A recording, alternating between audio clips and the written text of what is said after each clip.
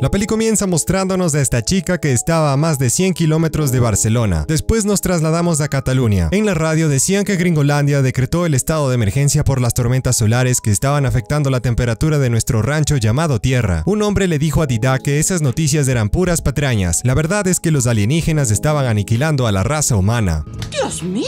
En otro lado vemos a la jovencita del principio yendo en su moto por un sector alejado de la ciudad. Su nombre era Alba y en ese lugar hacía estudios con su padre sobre el cambio climático. El señor decía que si cuidabas de la naturaleza, esta te cuidaría a ti. En el cielo se observaron unas luces extrañas. El niño vio a la señorita llegar y se acercó donde ella para pedirle que lo grabe, pues algún día jugaría en el Barça de la Pulga campeona del mundo. Los dos se conocían y eran amigos. Unos vulgares querían llevar a Didac por el camino del mal, pero él era más inteligente. De nuevo se escuchó en los medios que se estaban muriendo millones de abejas por todo el mundo. Pronto la vida en el planeta se iría al diablo sin las señoras melíferas. La chica inglesa no quería meterse a nadar en esa agua puerca y su padre se retiró en el auto a hacer otras cosas. Después estaban esos infelices molestando a Didac y querían arrojarlo al río. Alba les pidió que lo dejen en paz pues no sabía nadar. De pronto San Pedro empezó a tomar muchas fotografías, en tanto que el niño se ahogaba. La rubia se aventó a salvarlo llena de terror por lo que sucedía en el cielo. Como sea logró que Didac vuelva a respirar y juntos caminaron de vuelta al pueblo que quedó completamente destruido. Las personas estaban carbonizadas. El pequeño al darse cuenta que su mamá sufrió el mismo destino lloró mucho. Así comienza Segundo Origen. king.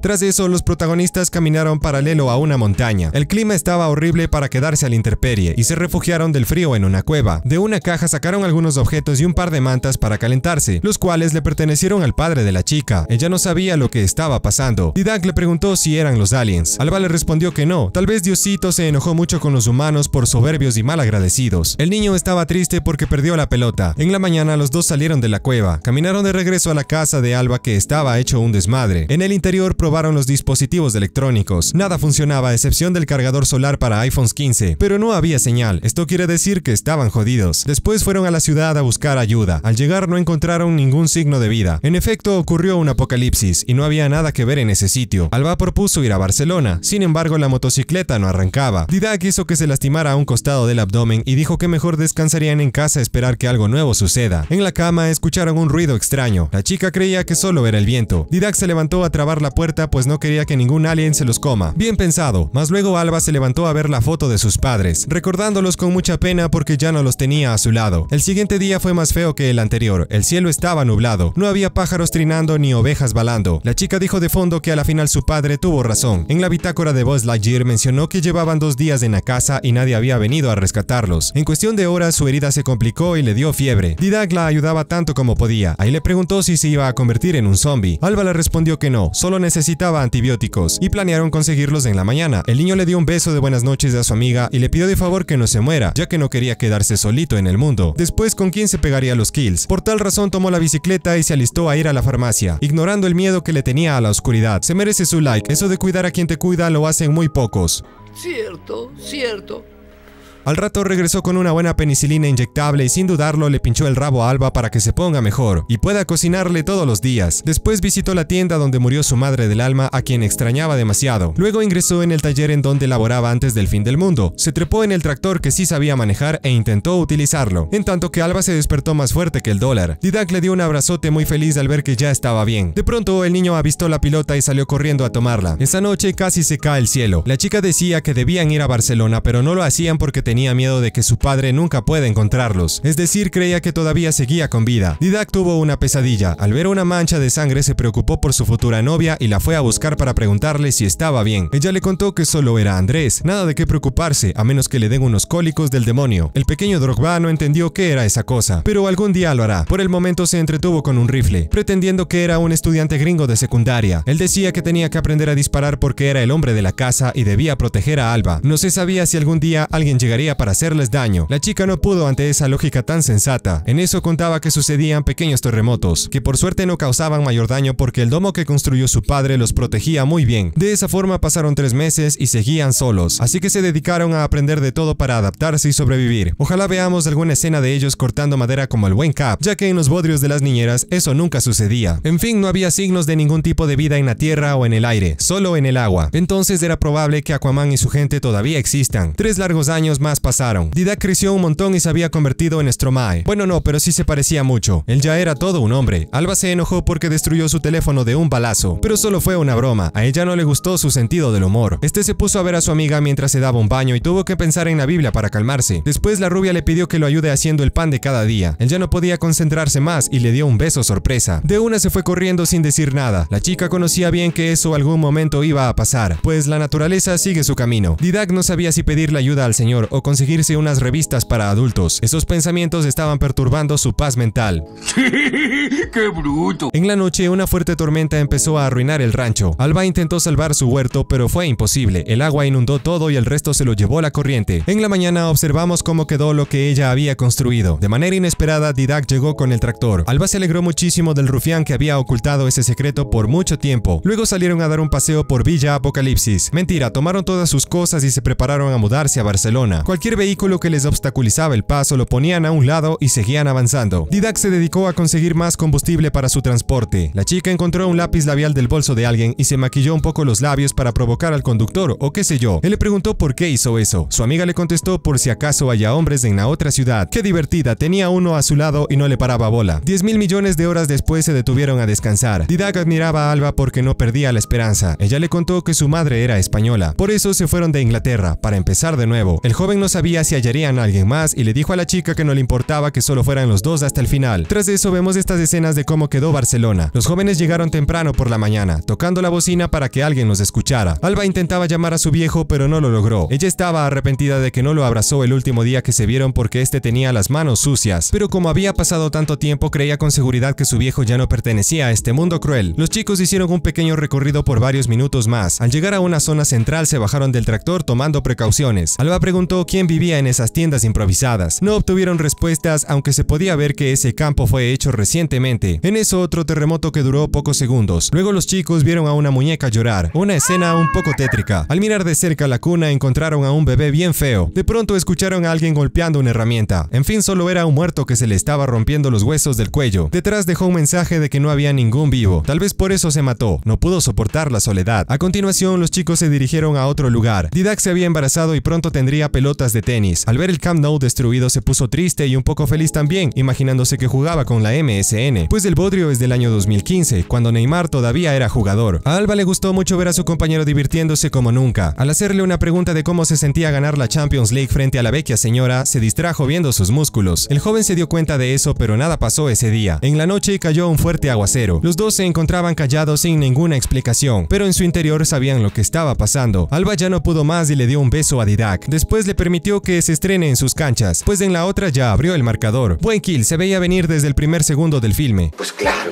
Luego la chica se preguntaba, ¿y si eran los únicos humanos en el mundo? Debían reproducirse empezando desde ya. Didac quería 10 bendiciones para armar un gran equipo y no extinguirse. No lo sé, Rick, así no funcionaba la cosa. Al otro día los novios decidieron dejar la ciudad que no era segura y prefirieron vivir cerca del mar, en donde la vida es más sabrosa. Además podían construir su hogar, forjar un futuro y lo demás. Esa vez Alba le dijo a su chico que estaba inflada. Era un milagro, pero ese niño estaba destinado a morir solo, a menos que encuentre a una traviesa vagando por ahí. La chica tomó varios libros de la biblioteca y se puso a leer sobre maternidad y esas cosas. Didac llegó para acompañarla. Los dos no sabían qué nombre ponerle a su descendencia. Kai si era sabandija, Yubiri Betsaida si era piano. Alba decía que estaba consciente que sus vidas cambiarían radicalmente en cuestión de meses. En la noche sufrió de fuertes contracturas y llamó a su pareja para que la ayude a recostarse en la cama. El momento de alumbrar había llegado. El bro le pidió que respire profundo. La cabeza estaba a punto de salir. Eso debió doler igual que una patada en los bajos. Los padres se enteraron que su hijo era varón. Alba le dijo a Didac que era igualito a él. Ambos estaban muy felices y querían nueve más para que se reproduzcan entre ellos, o qué sé yo. En la mañana la madre dio de lactar al pequeño Kai. El men probó el calostro y dijo que estaba amargo. De repente vieron un bote acercarse a la costa. Didac dijo que no necesitaban a nadie más en sus vidas. Alba no lo entendió y gritó si alguien podía escucharla. Acto seguido encontró un hombre tirado boca abajo en la arena. Didac lo volteó para saber si seguía en este plano. Efectivamente todavía pertenecía a los vivos. Luego les contó que el viento lo sorprendió y se dio un buen madrazo. Él estaba feliz de saber que no era el único humano en el planeta y de que pueda conversar con ellos. Fue muy fuerte al haber sobrevivido más de tres años solo, hablándole al mar, el viento y su reflejo en el agua. Alba le ofreció a quedarse a dormir en su casa. El señor respondió que mejor estaba en su barco al ver la cara de recelo de Didac. Antes de irse les pidió un favor, que lo abracen. Los chicos lo hicieron y el hombre lloró de la felicidad. Más tarde le enseñó al padre cómo se trabajaba la tierra. Él decía que ésta los iba a cuidar. Así el futbolista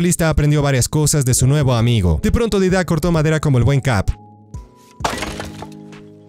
Era evidente que estaba celoso de ver a su chica juntándose con el marinero. Él empezó a espiar a Alba cuando daba de lactar y fue pillado por Didac. Sin dudarlo se lo reclamó. El hombre dijo que la madre tenía mastitis y le ofreció una miel especial para ayudarla con ese problema. El padre por el enojo que tenía no se unió a la conversación, solo quería que el señor se largue de sus vidas. Después Didac le avisó que el barco estaba arreglado. El hombre supo que era hora de marcharse. Alba le pidió que los visite, pero antes el marinero propuso hacer una fiesta de agradecimiento en su embarcación esa misma noche. Sonaba que algo turbina iba a pasar. Alba se puso un vestido muy elegante. Didac no entendió por qué se arregló tanto. El hombre les dijo que podían quedarse a dormir en su bote. El padre contestó que no, pero por insistencia de su pareja aceptó. Luego el señor les mostró una sorpresa, un video que consiguió reproducir usando magia antigua. El filme se llamaba Jamón Jamón según mis cálculos cinéfilos, protagonizada por el gran Anton Shigur. Nada malo pasó esa vez. En la mañana Didac se despertó al último y no encontró a su familia. De pronto madrazo sorpresa. Eso también se veía venir. Alba le aventó una boya y se arrojó al agua para salvarlo de nuevo. El hombre le dijo que no lo haga pues ella tenía que quedarse. Ni modo, Kai se quedó con el traicionero. Afortunadamente los chicos lograron regresar sanos y salvos. Didac estaba furioso por haber perdido a su hijo. La madre de igual forma. Ese gordo les bailó bien sabroso. Esperemos recapacite y les devuelva a su pequeño futbolista. Alba no sabía qué hacer. Tras pensarlo mucho dijo que debían buscar a Kai sin importar el precio. De tal modo empezaron a descifrar en cuál de todas las islas vivía el hombre, pero eran demasiadas. De paso cuando se las mencionó no fue específico. En un bote Alba recordó que la miel que les regaló era de una abeja que volaba sobre flores en forma de cresta. Esa fue la primera pista que intentaron entender mediante los libros de la biblioteca. En poco tiempo la madre vio que esas flores se hallaban en Tortuga. Mentira, era en Mallorca. Hora de zarpar y recuperar a Kai cueste lo que cueste como dijo el buen Cap. Otro millón de horas más tarde Alba encontró una abeja. Asimismo dieron con el bote del hombre que desafortunadamente estaba abandonado, por lo que recorrieron la isla. Metros más lejos escucharon al bebé llorando dentro de esa propiedad. Los padres la rodearon con cuidado hasta que vieron al canalla. Alba le pidió a Didac que le dispare sin dudar cuando lo tenga en la mira, pero estaba muy lejos y no lo lograría, dijo. Cuando se retiró los chicos ingresaron a su lugar. La madre encontró a su bebé en una jaula de metal. No tenía sentido tenerlo así, parecía otra trampa. Alba buscó las llaves por todos lados, probó algunas sin resultados. No tenía mucho tiempo pues el hombre estaba a punto de regresar. La chica le contó a su pareja en dónde estaba su hijo y le pidió que vaya a rescatarlo. Alba se descuidó al escuchar a Kai llorar. El hombre la sorprendió y tomó el arma. Ahí le ordenó a Didac que no intente nada tonto. Luego los amarró a unas hamacas, diciéndole al padre que pudieron haber hecho algo grande, pero nunca le agradó su actitud desconfiada. Alba le pidió de favor que no mate a Didac y le permita hacer todo lo que deseara. El hombre aceptó con una condición, que haga exactamente lo que le diga. En la parte de abajo le contó que a veces debía dejar a su hijo llorar para apreciar la vida. Era como música para sus oídos. Sin duda esos siete años en soledad lo dejaron un poco chiflado. No debe haber nadie en el mundo a quien le guste escuchar a un squinkle chillar todo el día.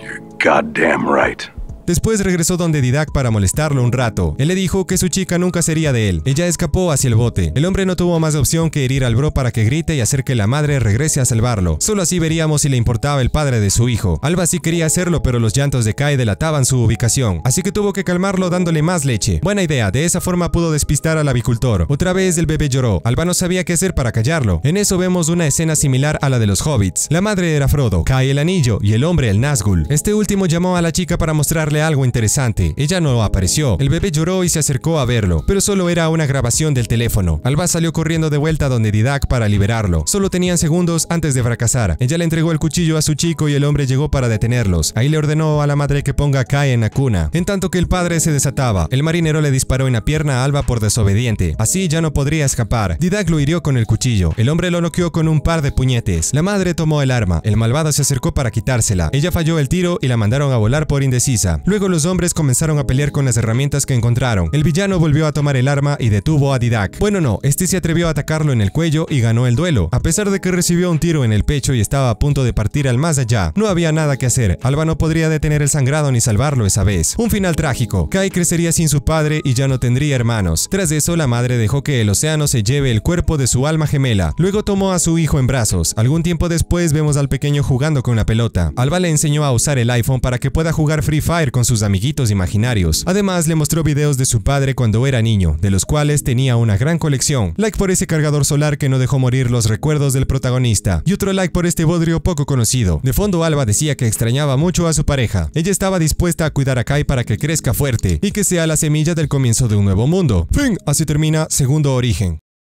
Listo amigos, esta fue la peli que les traje esta vez, espero que les haya gustado, y si no fue así no olvides pasarte por mi canal y ver mis otros videos, dejar un like, un comentario y suscribirte activando la campanita, porque si no... ¡Hay tabla! Eso es, to- eso es eso es todo, amigos.